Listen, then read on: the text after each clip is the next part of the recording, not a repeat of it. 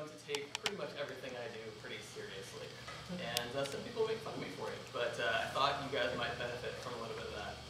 So uh, let's, let's jump right in. If you would like, you can just pull down this repo, hit dist slash slides.html and follow along.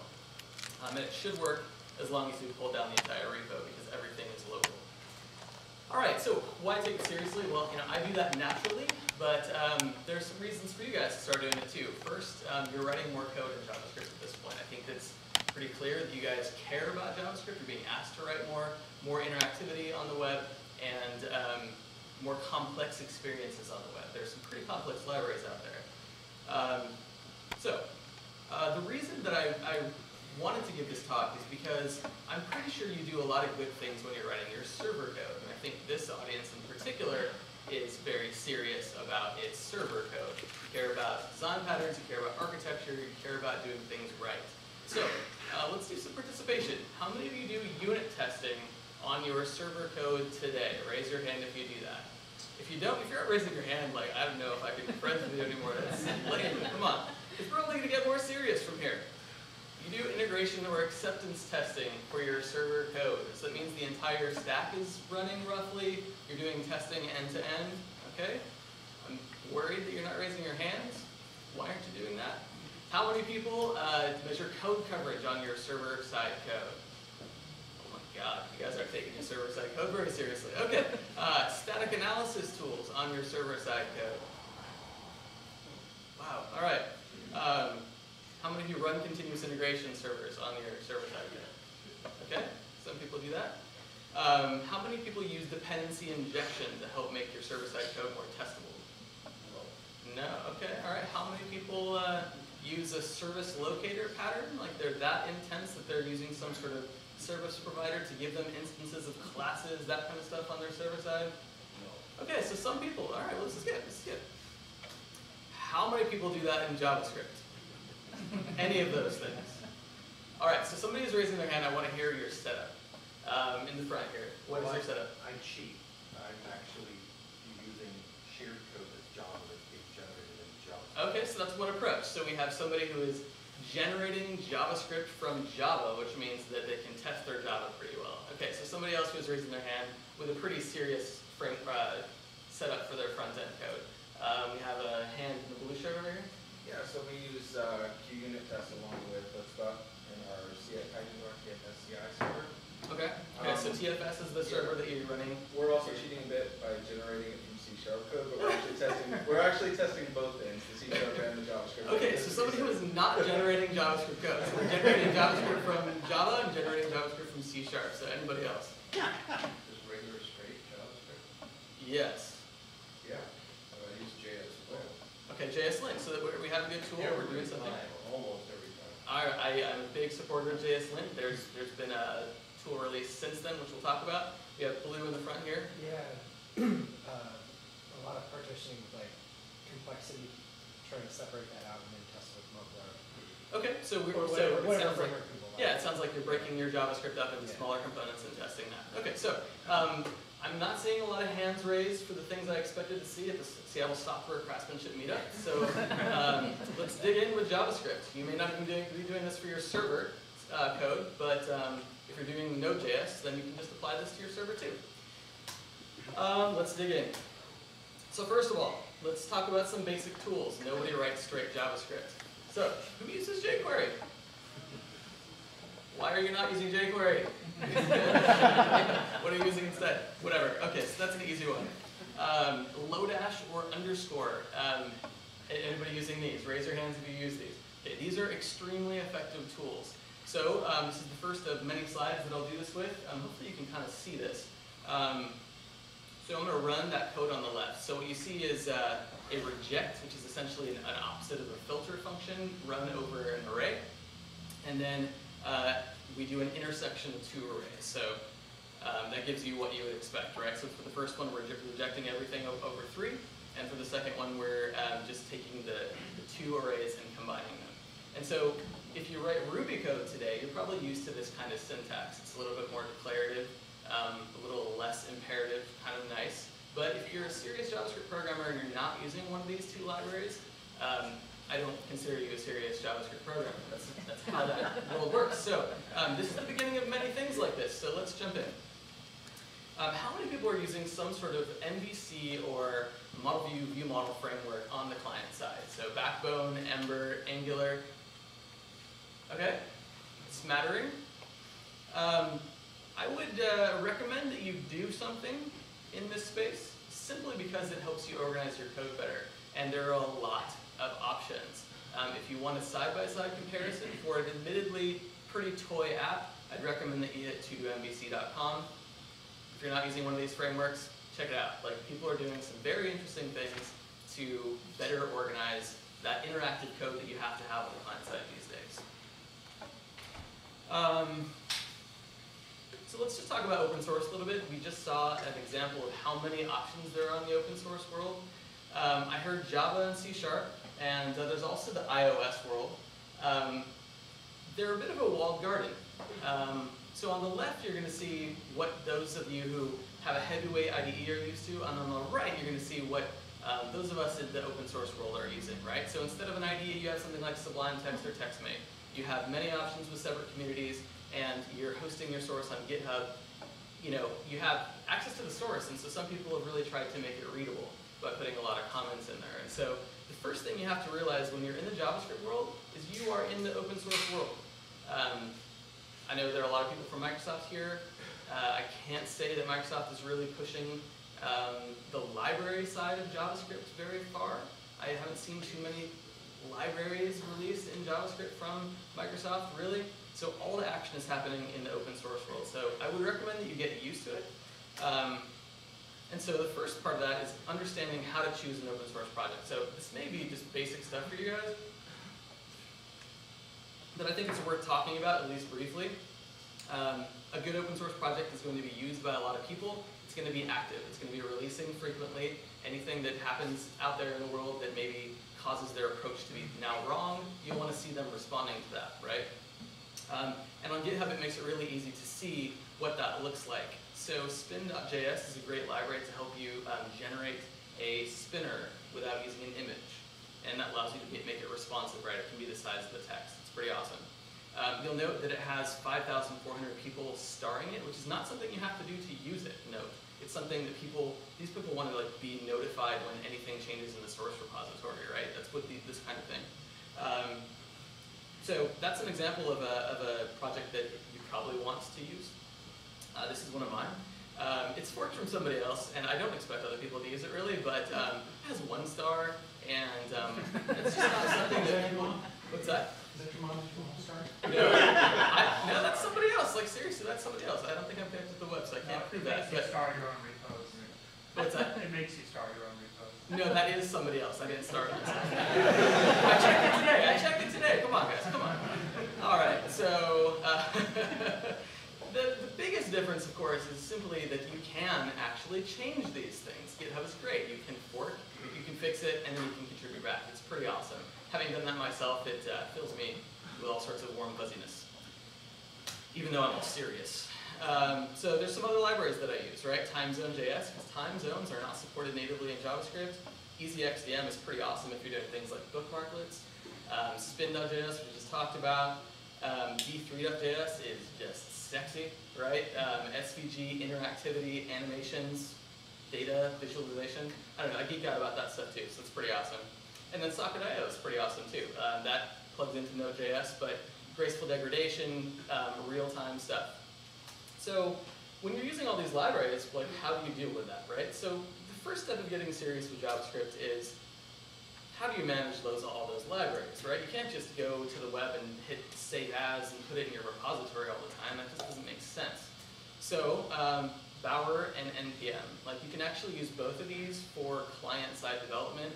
NPM can pull down things that can be used in the client side. There are a lot of libraries that are like that. And then Bower is one that's been introduced uh, more recently from uh, than NPM, and also a very, very good tool. Um, one of the problems with Bower, however, is that some of the time, some of the time it brings down things that you cannot use out of the box. You have to build it first, right? Because it's kind of a raw repo, and that's one one weakness of Bower. But one of the great things about it is that it will pull down dependencies for a given um, library. Um, Bower will, and NPM will definitely do that as well. And um, Bower is also set up to tell you if there are updates to a given library, right? All I have to do is Bower just for JavaScript or is it for other things? Uh, it is a super abstract, high-level um, tool, actually. And so um, you connect it to a GitHub repository and put a bower.json in that project, and it does stuff, right? So it's, it help with uh, uh, GYP and Ninja build and those kinds of things? um, you could, I would recommend that you try it, because I'm, I'm pretty sure it would work for that, right? But um, those, those of us who use Bower for client-side JavaScript might get frustrated when we see something that looks interesting and it's not useful to us. But in any case, um, dependency management, definitely jump into these things. Um, question? Yeah, so one struggle that I've had with both of those package managers is that like with say Sugar or Lodash or any other ones that provide custom build um, tooling, like they don't include it in like whatever you're pulling down. Right, right. So that's, like if you're gonna have like a build process that does a custom build, you know, like. Right, and- and so- That's a, that's a great point. Um, custom builds are great if you want to reduce size or you have a specific requirement for the kind of thing you want to do. Um, in that case, I'd recommend you simply clone the thing and start writing some of your own scripts, right? Um, yeah, but great point. Um, it's worth doing if you have those kinds of requirements. So, um, now that we're in the world of managing your dependencies, we have to understand semantic versioning a little bit, right? Because people use this to mean things, right? It gets serious. So, um, major versions, they are for breaking changes. Minor versions are for addition of features and only additive things, right? And then your um, patch version is for bug fixes alone. Um, and, and this, you know, if you break this, like I will break your leg, right? Like do not do this. Like do not, do not break this system, okay? Now, um, yeah, I mean, it makes sense, right? Because you're using these dependencies, you have to know what's coming down when a version number changes, right? Now, the one thing I will warn you about is if you're below 1.0, like kind of all bets are off and you should watch yourself. Um, I've seen a number of breaking changes happen uh, below 1.0 and like, you know, if you're using the semantic versioning um, system below 1.0 and you're expecting that kind of stuff, like it's not going to work for you. So um, the reason you need to know this is because in Bower and in NPM and these other systems, you can specify the version number that you want, right? And it will pull down whatever matches that. That's why it's important to know this. Um, and then lastly, if you're going to get really serious about uh, managing your dependencies, there's something called npm shrink wrap, where you can say, I have this hierarchy of node modules that I want to use, and I want it to be exactly the same when I use it in the future. And you can then submit that to your production server, fully tested, and there's no worry that something will change out from under you. Imagine if you're using 1.x of a given library and you do want it to upgrade whenever um, it upgrades. If you haven't tested that, you probably don't want it to go out the door, and so shrink wrap can help you with those problems. Okay, so now that we've dealt with a library problem, let's go back to our project. Um, but we're TDD, right? I mean, this is uh, Seattle software craftsmanship. Yeah? Yeah? Okay. So uh, let's set up a test harness. Mocha is a great tool to help you write unit tests. Um, apologies for the lack of syntax highlighting here. But um, it's pretty simple. Describe gives you a suite of, of tests. It gives you a test, and you can run before and after um, tasks before every suite or before every um, uh, yeah before every suite. So these before and before each would run for everything that's inside this describe.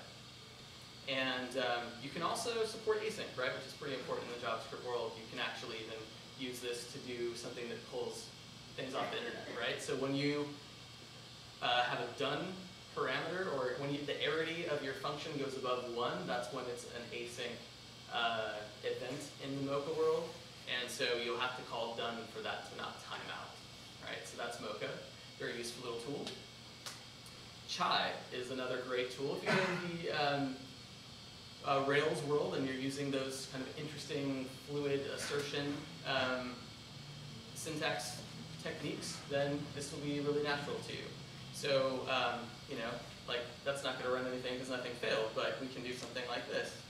Um, so we get nice expected this to equal this messages when these things fail, and then that's reported by your test runner. So pretty useful little tool.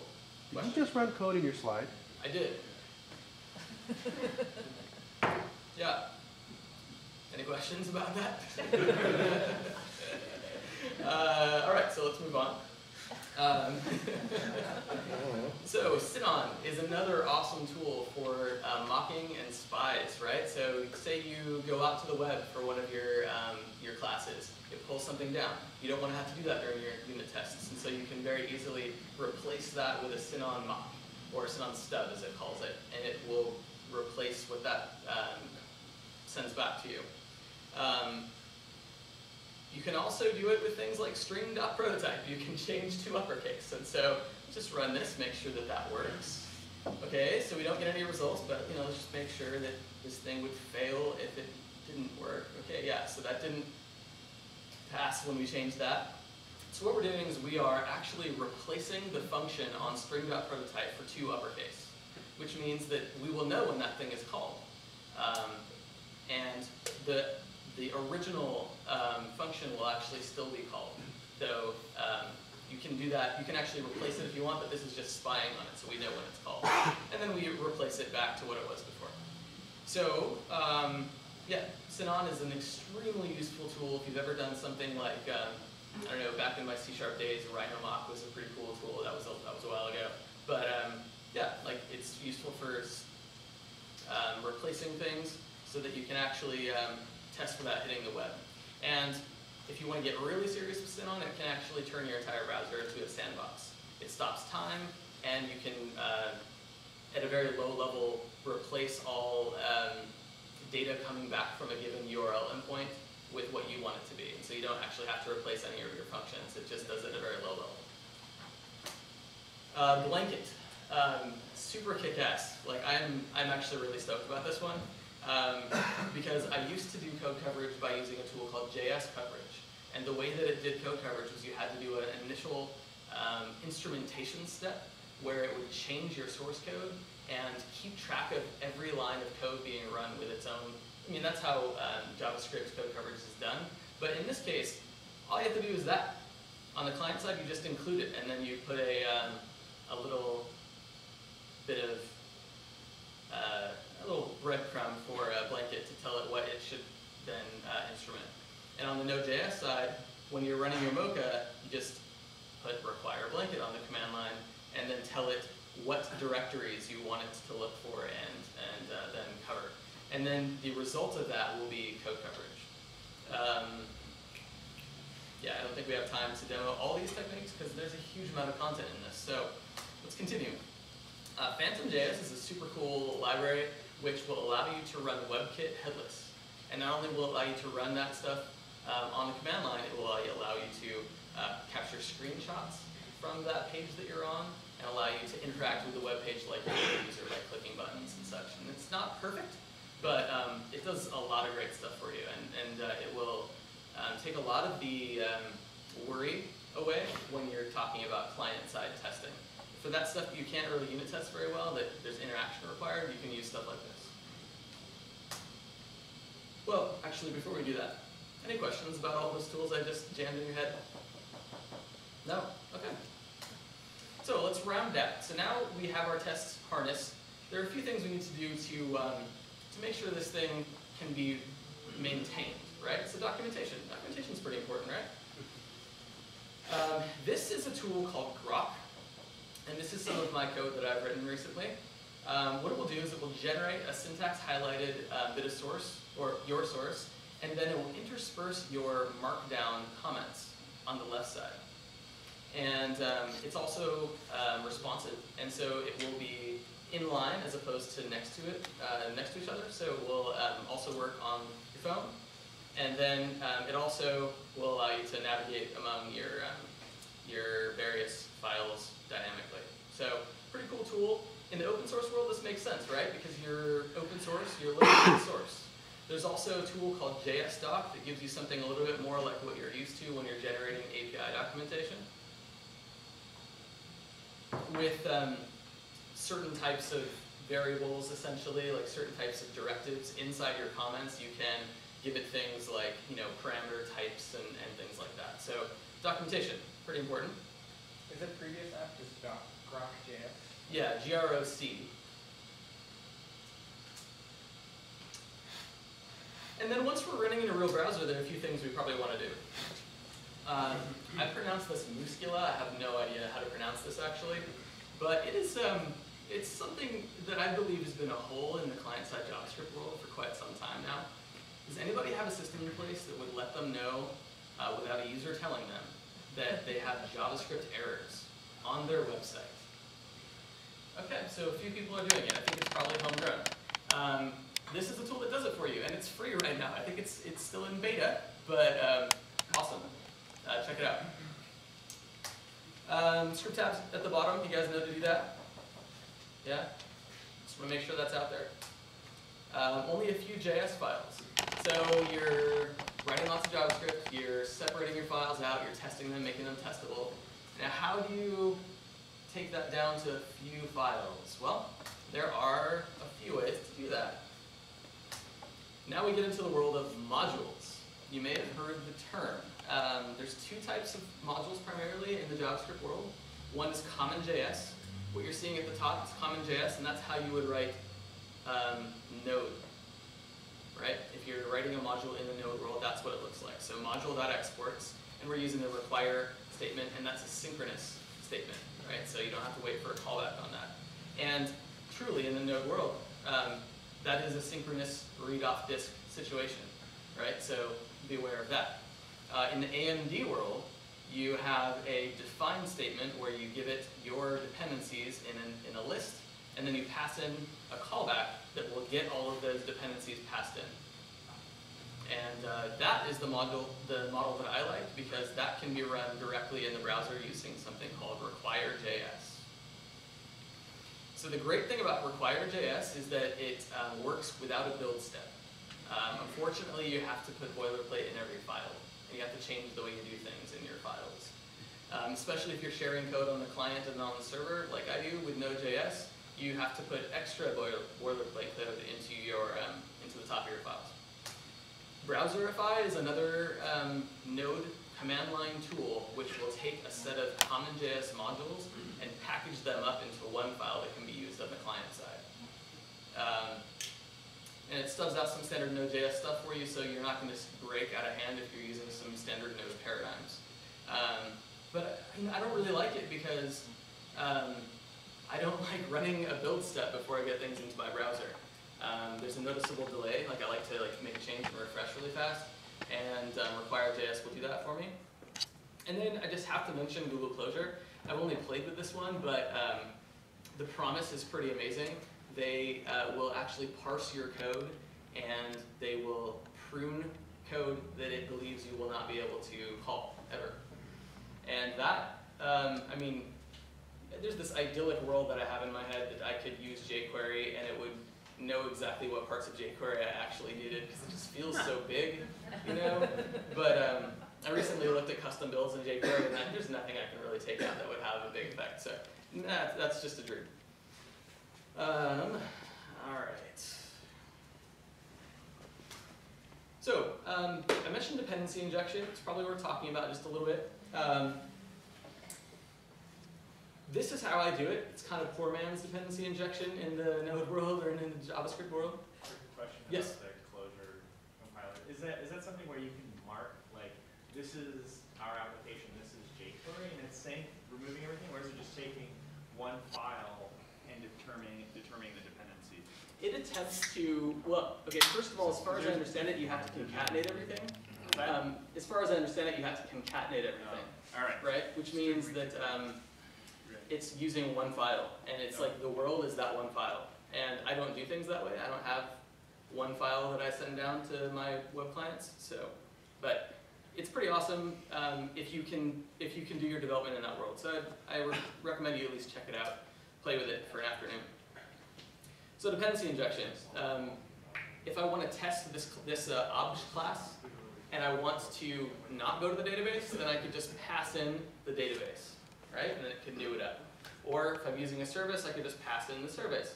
Or it turns out I could just do something like this. Oh, actually that's not, oh, here we go. Editable, no it's not editable. Um, I could just do obj, or new up an option, then go dot service and change that, right? Because JavaScript allows you to change anything, right?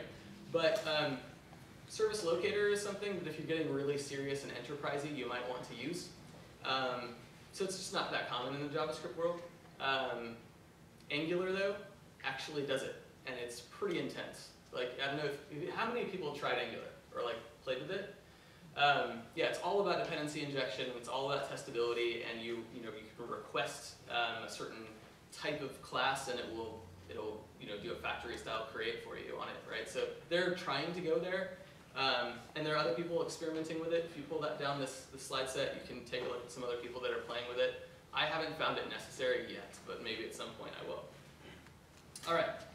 Okay, so, whew, all right, now we have now made a, ourselves a little uh, nest in which we can write some code, right? We have our test harness, we have our module system, we have our libraries pulled down, everything. But how well do you know JavaScript? So let's dig into this. All right, uh, I think I'm hinting pretty well at what this does based on how I'm organizing this. But um, take note. What is, what is this going to do? Yeah, so um, I didn't try to trick you by having, you know, uh, groups that don't make sense together. But as you can see, null and undefined, false, false. Um, when you're checking if that's false, obviously false. Zero and empty string are also coming back falsy. Those are kind of interesting, and not a number comes back as falsy. And then uh, a valid reference to something like f, or one, the number, or uh, a string that is non-empty, or true, right? So that's an interesting bit of uh, knowledge first. There's, you can do just if um, something and get some meaning out of that. Um, and so people use falsy and, and, or truthiness and falsy all the time in JavaScript. So it's just a, it's a good uh, bit of knowledge to know what happens. So triple equals versus double equals. Uh, this one is like it trips up anybody coming from the Java world or the C Sharp world immediately, right? You're just used to double, double equals. So, um, this one is the key, right?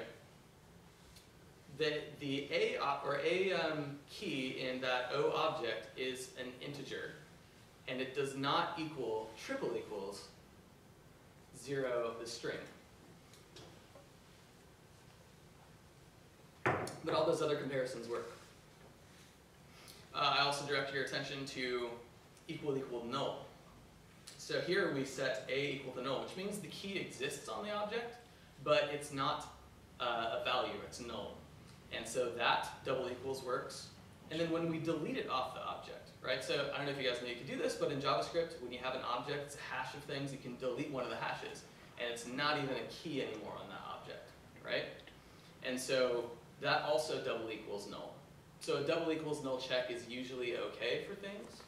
Um, and I generally, if I'm dealing with anything but a number, I usually just do if the variable because um, that's that works for most situations. But um, yeah, so triple equals versus double. So functions are objects in JavaScript. Um, so first of all, we're going to new up a function right? So that's the anonymous syntax. You're used to using that if you're writing your jQuery in an untestable way. um, so we can type of, actually let's just run this, then we can go over the results. So it's a type of function, and when we print it out, funny enough, it actually allows us to see what's in the function, which is kind of interesting. And I've seen some things online take advantage of this. Um, and then we can get its arity by checking f.length. And so to prove that that works, let's just do this. And so now we get 2.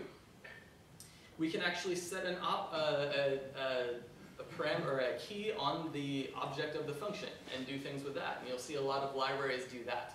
Like they return an object, but you can actually use properties on that thing and then you can call it too. And it's, it doesn't make any sense, right? But that's how they do it. Um, and you'll note that here, with the function, we can pass in more parameters than it takes. And that works. And then you can print out this arguments thing. And arguments is a very powerful keyword, obviously. You don't have to declare all the, all the arguments, and your arity is zero, but you can still do stuff with the, um, the, the arguments. So it's, it's a little funky, right?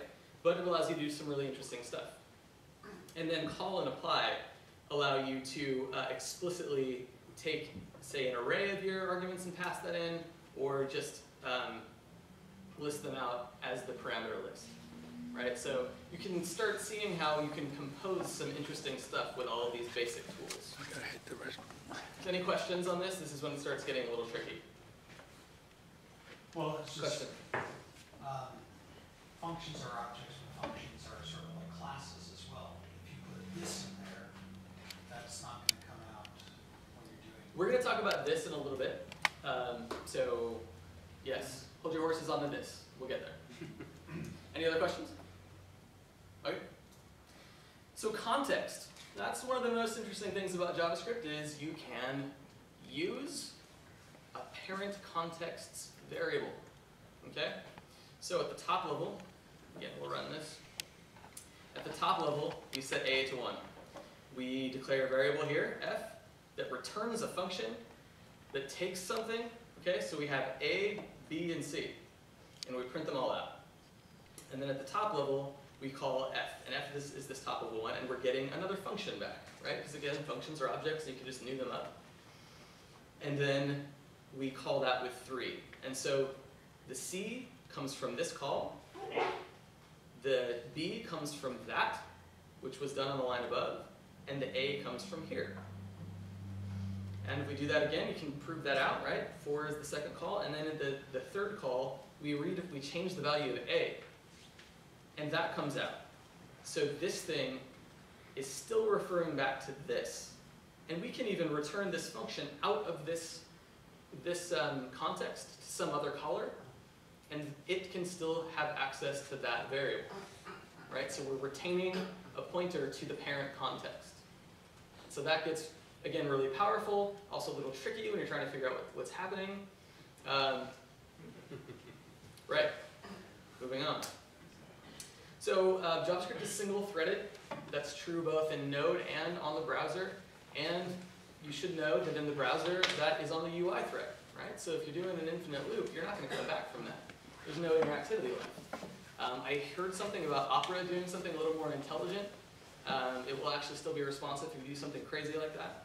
But uh, so what we're going to do here is we are going to set two intervals up that are uh, incrementing x and decrementing x, and we're going to run them as fast as we can, pretty much, and then we're only going to let them go for 250 milliseconds. So,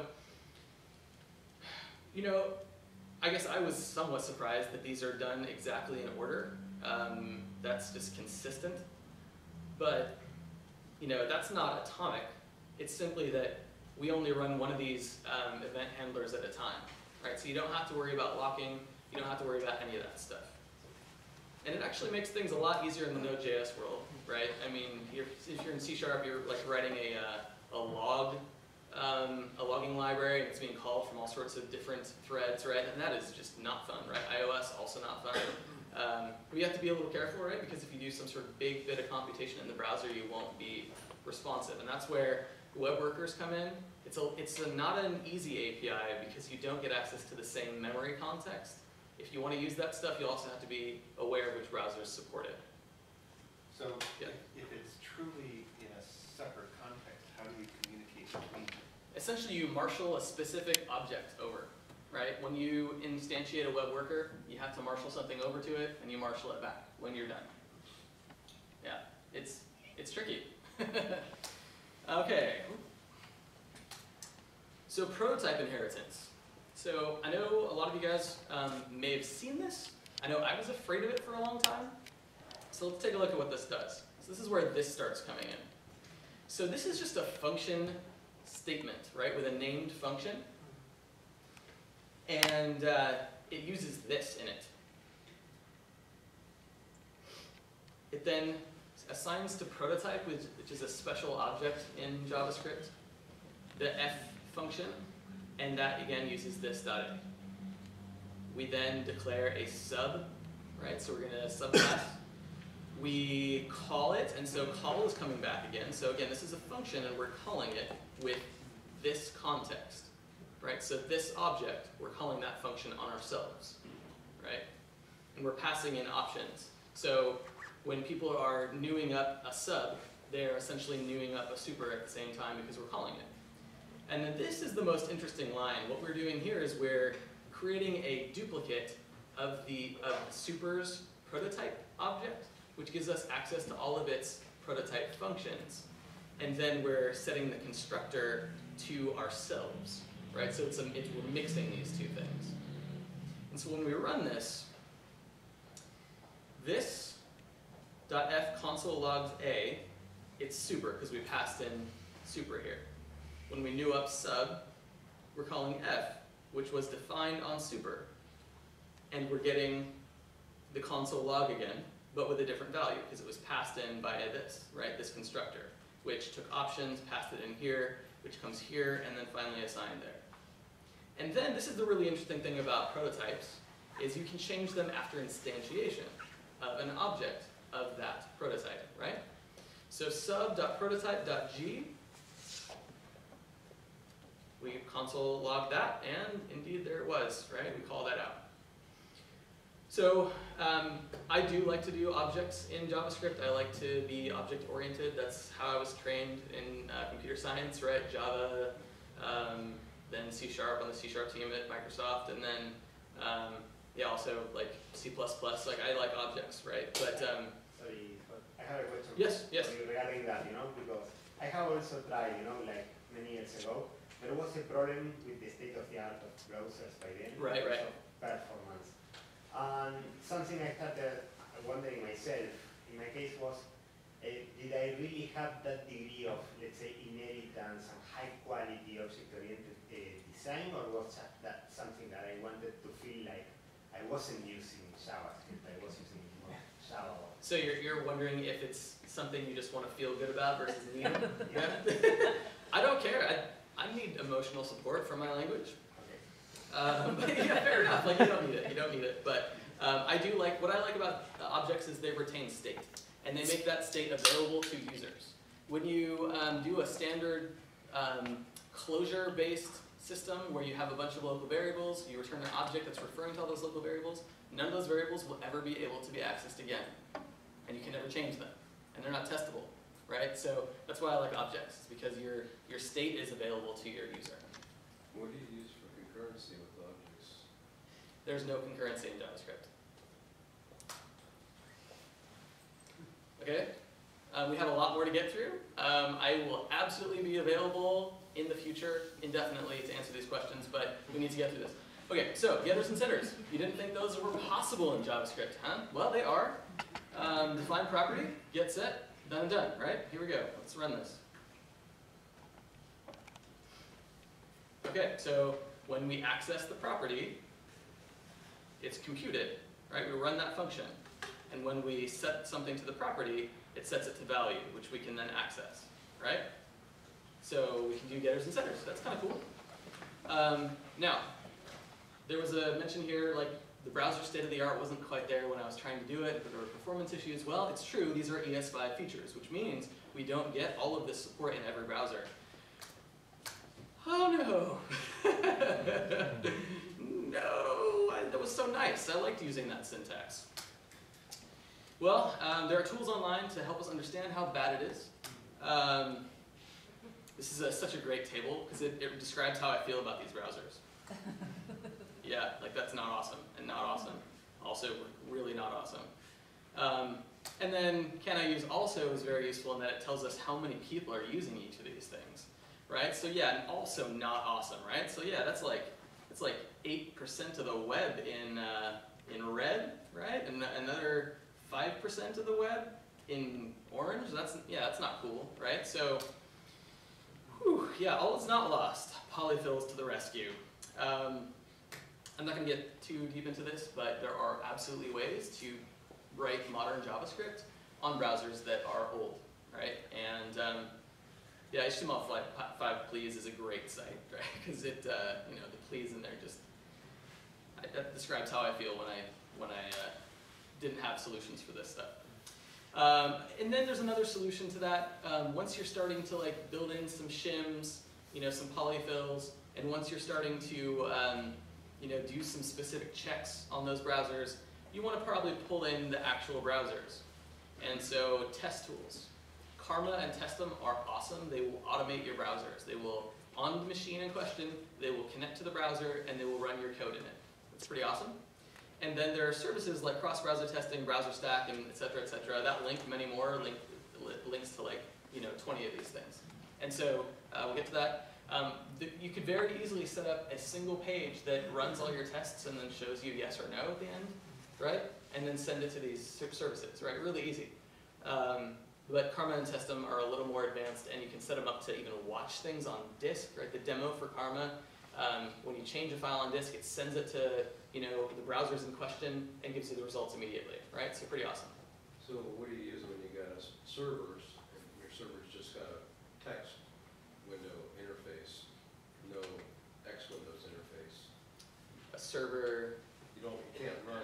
Oh right, right. Okay, so you have like a build server, right? You have a headless build server, right? So first of all, um, you can use Phantom.js if you're really headless, but like let's be honest, like uh, if you're really worried about this stuff, then you should either move all the way back to something that IE8 supports, if that's in your user set. Like make sure to never use anything that the IE8, IE8 doesn't support, Well, I- or do I some testing. I use an iMac for, it's right there, I can develop in that world. But then I've got like eight Linux servers that I work with too. So like, Right. Well, fundamentally, like you can decide to take the risk of, you know, not running in the browser itself. You can decide to take that risk, right? Like, you know, these are pretty well tested shims, but you know, there's no guarantee perfectly exactly, and there's potentially also performance issues um, on old browsers with some of this JavaScript, right? So you probably want to test that. Um, happily, some of these browsers are slowly the usage is going down, but um, it- you know, you guys are aware of the cost of supporting these old browsers if you're writing CSS as well. Super painful. Okay, so back to the code. This, the question was asked, how does how do we deal with this? Like that's a weird keyword. It behaves strangely. So we create a new object. On its construction, it sets this dot x equals to seven. The f function prints that out. So we create a new one. We print it out. We get seven. We pull that that function out. We set it to a top level variable, and we call it raw. What do we get? We get undefined. Right? Because this is undefined. Or I should say, actually, in that case, this is uh, probably the global object. But um, yeah, when we call, when we do a g.call though, um, we can pass in the value of this. So again, this is like when we were doing the, on construction, we were doing an, a call, right?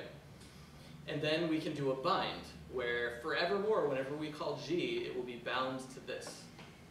And that's the service that we get from underscore and Lodash. And then uh, the last line.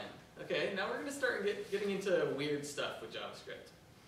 Some of the tricky parts of JavaScript. So you forget the new when you instantiate one of your objects. What happens? Well, first of all, you don't get an object back anymore, right? That's undefined.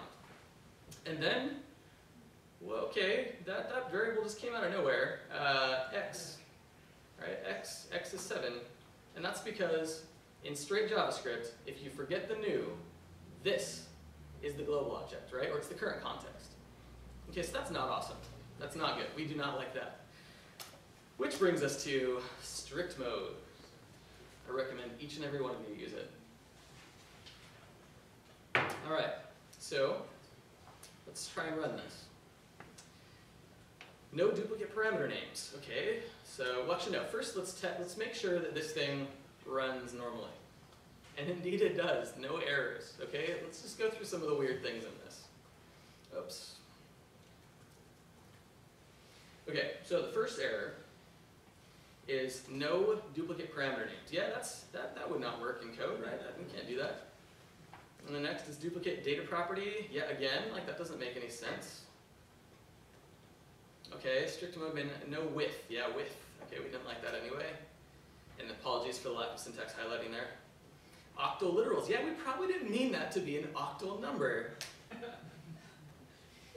and can't set property x of undefined. Now this is where it gets interesting. That solves the problem we just saw. This dot x equals 7. We didn't do a new, and it's undefined. This is undefined, which gets, gives us that error. It's a runtime error. We put the new in, and it works. Um, this one is behaving strange because of eval. Apologies. and uh, object prototype. if you were to do that in your code, thing, bad, very bad things would happen. So what it does is it prevents you from doing that, but it fails silently. Like it does not break your code if you do this in your code. Um, strict mode will make you fail, which again, if you're testing your code, you'll then find out you're doing these stupid things. So let's get rid of that. And again, now we're, we're uh, passing again. So strict mode. Strict mode support is not supported in every browser, but the point is, if you test in browsers that do support it, you'll be prevented from doing those bad things and not do the bad things in the browsers that don't support it. Question? Yes, if you're, if you have used strict at the top of all your files and then you concatenate your files, is that gonna be a problem, or if you are mixing, I would heavily, heavily recommend that you never manually concatenate your files.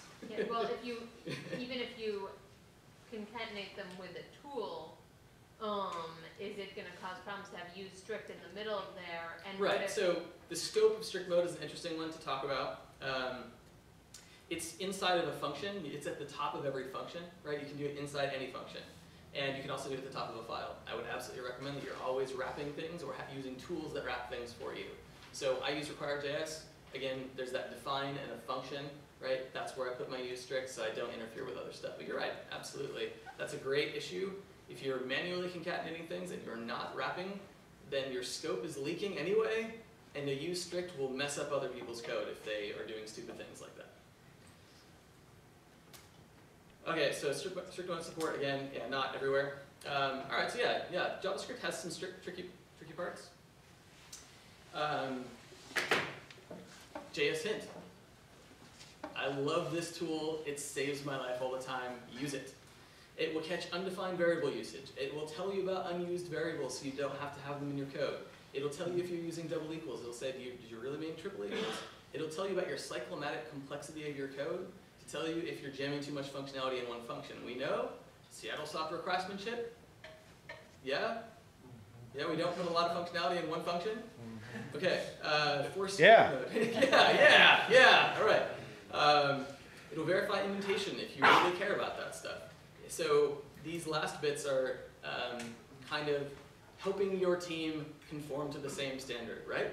And uh, the original writer of JS Lint, which JS Hint is based off of, actually said he wanted it to be a pain in the ass for developers. Um, but it's a good thing because your code ends up better, right? Um, then there's complexity report.js, um, maintainability metric, and this is pretty advanced stuff. It actually looks at how many um, comments you have in your code, how complex the code is, and it'll tell you how maintainable your code is. And the best way to use it, because the output is kind of crap if you just use it directly, is to uh, use a grunt task. Which brings us to Grunt, which is a great, great tool. Uh, project automation. Uh, available today, easily downloadable. Um, tasks for JS Hint, Mocha, um, concatenating, minifying your files, and then a watch, a generic watch task, which based on when certain files change, it'll run arbitrary tasks for you. Um, super awesome. I was using it for this because I wrote it in Jade and then compiled the Jade to my HTML. And every time I made a change in the Jade and saved it out, it generated the HTML for me. All right, so pretty awesome stuff. And then when you're writing your own tasks, you have some sort of custom build system.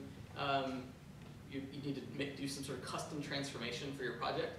It has a very powerful API. Like if you have ever written code to search for files in directory tree in JavaScript, so you wrote some sort of tool to do that, um, you can now delete all that code and rely on Grunt to do it for you because it does advanced globbing, right? So double star will uh, match a number of uh, levels of hierarchy for files. So very cool stuff. And then there are tasks that's available, and then you could also write them yourself to plug into Jenkins and Travis CI for your um, continuous integration.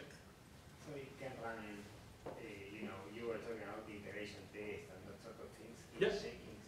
Yeah, absolutely. Yeah, so I mean that's how I do it. Let me just show you real quick. Uh, so this is my one of my projects. So I type grope mocha cov, like it's a, a code coverage mocha tool, um, and I tell it to use my interactive configuration, and then I tell it to uh, search for the test that has tests in it, and then that gives me this file or this page. Of, uh, oh, you know what? It's like pulling something out from the internet. Uh, hasn't loaded yet. Come on. you know, for having eight gigs of RAM, I'm disappointed at the performance of this thing sometimes, or maybe it's just the apps I'm using. But yeah, so it just pulled this up, and this is actually doing some round tripping with my server. This is Mocha, and this is what Mocha looks like in your browser. And then this is what um, Blanket looks like in the browser too, right? So I have both code coverage and required, it's required JS, it's super sexy. I happily show it to you. I don't think that's the scope of this talk. Um, but yeah, Grunt, use it. All right, so yeah, that was, all that stuff, that's pretty amazing.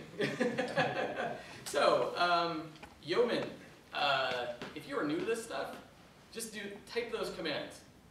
npm install g, yo, and generator web app. Make dir, do whatever you want, do it whatever you want, use the current directory, and then yo web app, it will generate a grunt-based, file-watching, live reload, require.js using unit testable system using Phantom.js. It's freaking phenomenal. Jeez. If you have not used it, you should use it. If only to learn from how it configures things, then you can take some of those things into your project. Um, like, I spent way too much time uh, configuring my own stuff uh, after looking at how they do things. Like, it's pretty great. Like, it's best practices for the open source world. Like, if only to learn how they do things, take a look. It's pretty awesome. And there are a lot of other generators too. It's not just web app. Um, no matter the technology, you can probably find it in there. And if not, they have a pretty good API for generating. So, um, the JavaScript ecosystem is awesome. The JavaScript language has some questionable things, fair enough, but uh, JS Hint and some other tools make it better. And uh, I recommend that you try Node.js because you can use all these learnings on the server too. Thank you very much for paying attention.